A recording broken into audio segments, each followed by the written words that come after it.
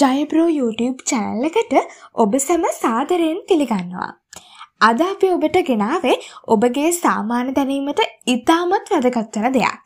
ඒ තමයි ලෝ විශාලතම දේවල්. අපි බලමු ලොව විශාලතම දේවල් මොනවද කියලා.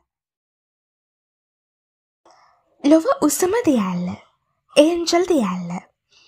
ලොව උසම දියල්ල වන ඒන්ජල් දියල්ල වෙනිසුයිලාවේ බොලිවාර් රාජ්‍යයේ කැනයිම වනෝද්‍යානය පිහිටා තියෙනවා. එහි උසාඩි තුන්දස් දෙසී දොළහක්. මේ උස කෙතරම්ද කිවහොත් ජලය පොලෝ මට්ටමට පැමිණෙන විට මීදුම් බවට පත්වෙන බව වාර්තා වෙනවා. මෙය සොයාගෙන තියෙන්නේ ජිම් ඒන්ජල් කියන පුද්ගලයකු නිසා අපියට ඒන්ජල් නමින් කතා කරනවා. ලොව විශාලතම බෞද්ධ පන්සල. බෝරෝ බුදුර් විහාරය.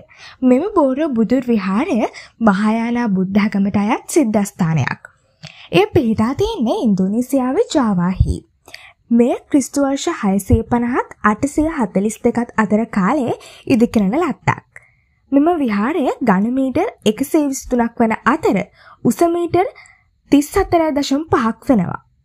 මේ විචිත්‍ර ලෙස නිරන ලද මූත්‍රී කැටයම් කොටස් දෙදස් හයසය හැත්ත දෙකක්ද බුද්ධ ප්‍රතිමා පන්සිය හතරක්ද දක්නට ලැබෙනවා. දාහතර වන සියවසෙන් පසු ගරා වැටේ තිබූමම සිද්ධස්ථානය පසුව ප්‍රතිසංස්කරණය කරල තියෙනවා.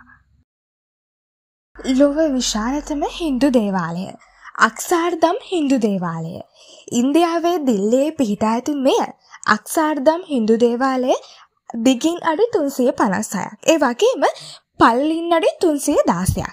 ඒ විතරක් නෙවෙයි උසින් අඩි එකසිය හතලිස් එකක්. මෙහි ඇති සියුම් කැටයම් නරබන්නන් මවිත කරවන සුළුයි. දෙදස් පහවසරේ නොවැම්බර් මස විවෘත්ත කළ ලද මෙම දෙවල අවුරුදු පහක් තුළ සාධානම කරන ලත්තා. ලොව උස්සම පාලම මිලා වූ පාලම දකුණු ප්‍රංශයේ පිහිට ඇති මෙම පාලම ලොව ඇති උසම පාලමයි. එහි උස අඩි එද්දස් එකසේ විසි පහක්.